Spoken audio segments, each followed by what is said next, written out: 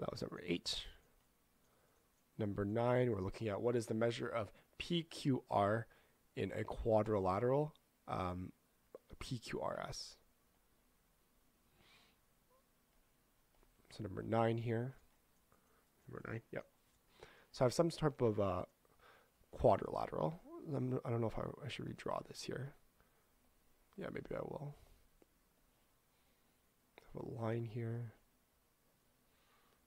Another line here. Line here. Okay, so I have some type of quadrilateral.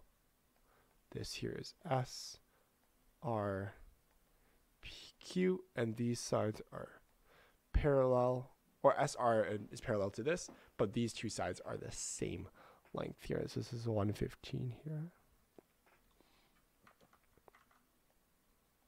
And I want the angle of PQR. I want the angle of this guy over here, right? So if I want the if I want the angle over here, and I know that these two sides here are the same, so you can actually we can actually do something called an extension. So we can actually extend these lines here, and I'll I'll see if I can draw this nicely here.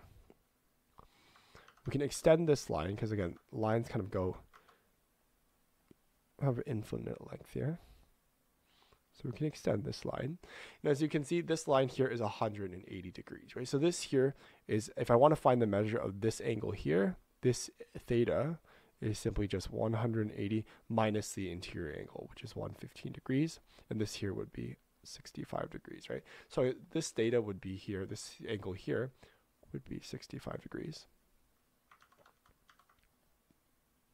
But it's asking us, our problem here, it's asking us what is this angle here, right? So knowing this here, 65 and 115 here, we can actually solve for these guys over here. So let's see what they did here. So again, they, they kind of extended this guy here as well, right? So they did, um, they did, uh, oh, they actually, they actually extended it into a Pythagorean theorem question. So this, this is another way of looking at it as well. Um, you can actually write a, you can, again, you can draw kind of a right angle or make a right angle like so and this here would be right angle. This here would be 65, and this here would be 90. You can also do the exact same thing here. You can make a right angle as well, and then you can also use Pythagorean theorem to figure out this um, this uh, this uh, this angle as well. So let's see what they wrote here. SP equals. So this is again. Um, they did here Pythagorean theorem. So they want to solve for one of these sides here. So they're doing SO plus OP here. They want to solve for this side here. And as you can see, they did two Pythagorean theorems. So they did one, one on this guy here and one on this guy here.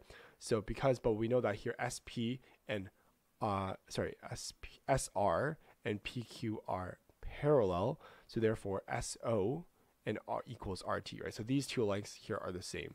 So therefore, we can say that SP and RQ have the same length. So these guys here have the same length. And we actually know that because of the uh, the dash here, right?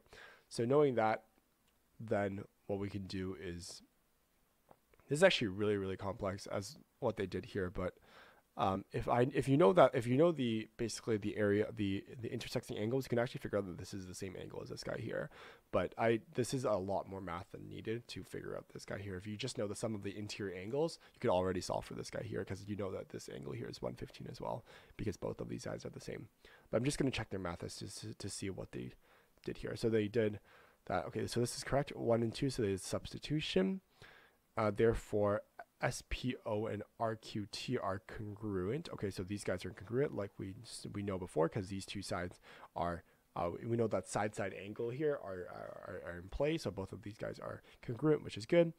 And they figure out the, they figure out my angle as well. 65 degrees is the angle here.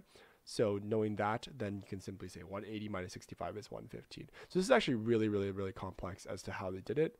I personally don't like this method. It's actually a bit more conv convoluted here. So I'm going to say, so again, I, know, I solve for this angle here, right? 65 degrees. And because these guys here, I know that these guys here are um, the same here. So therefore, this angle here must also be 65 degrees. And therefore, I can solve for this theta here. So this theta, or actually, I'll, I'll make this angle alpha here. So angle alpha here is simply just 180 minus uh, the 65 degrees, and this here is simply just 115. So this is going to prove that this angle here, PQR, is 115 degrees. So therefore, we can write that angle PQR equals 115 degrees here. So this here is a very, very convoluted solution for such a problem.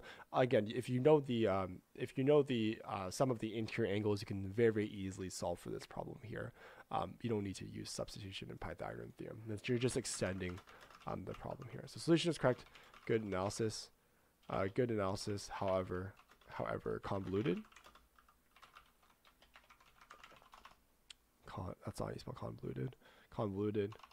Uh, if we know the sum of the interior angles, or if we know if we know that the the uh, interior plus plus exterior angles equals 180 degrees, and we know that SP equals RQ, then um, then the same must the same angles must exist on the other side of the quadrilateral. Quadrilateral. There we go. So so therefore so therefore you can say angle PQR equal to 115 degrees. So MSA solution here is correct, but again, very, very convoluted way of solving this problem here.